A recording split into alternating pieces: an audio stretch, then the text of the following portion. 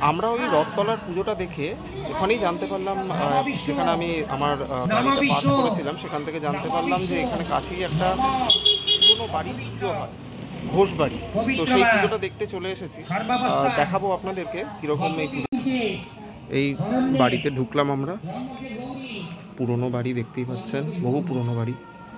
গৌরী নারায়ণী নমস্তুতে দুর্গাই নম নম বিষ্ণু নম বিষ্ণু নম বিষ্ণু নম গুরবে আজ্ঞাপ্যামি নম ব্রাহ্মণেভ্য আজ্ঞাপ্যামি নম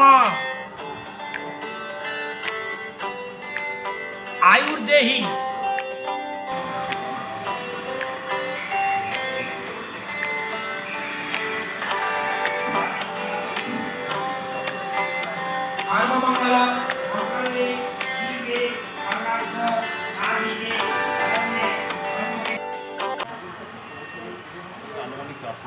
চারশো বছর। আর আপনাদের এই বাড়িটা কি তখনকার দিন তখন থেকে জমিদার বাড়ি ছিল। হ্যাঁ। আর এই আমি কত বছর?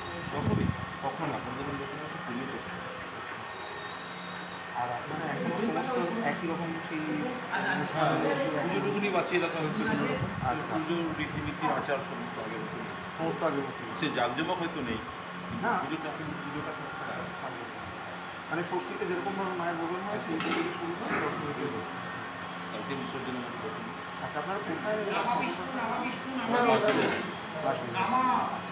নম বিষ্ণু নম বিষ্ণু নম বাসবেন? নম এই যে এই যে এখন রথতলায় বড় একটা পুজো হচ্ছে তার জন্য কি আপনাদের বাড়িতে লোকজনের আনাগোনা কিছু বেড়েছে দেখার জন্য দেখার জন্য?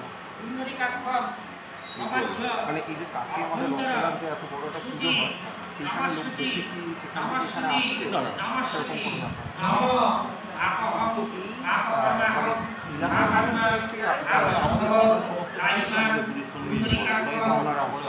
আচ্ছা আচ্ছা আর বাইরে থেকে লোকজন আসে মানে পরিবেশ তারা আসেন মানে কলকাতার মধ্যে যারা আছে তারা যারা বাইরে থেকে তারা আচ্ছা। দেশের বাইরে মানুষ। হ্যাঁ হ্যাঁ। লোকালের মধ্যে যারা আছে আছে। আপনারা এখানেই থাকেন? শরীরদের মধ্যে আমরাই বাড়ি। আপনার নামটা কি? আমার নাম মনোজ কুমার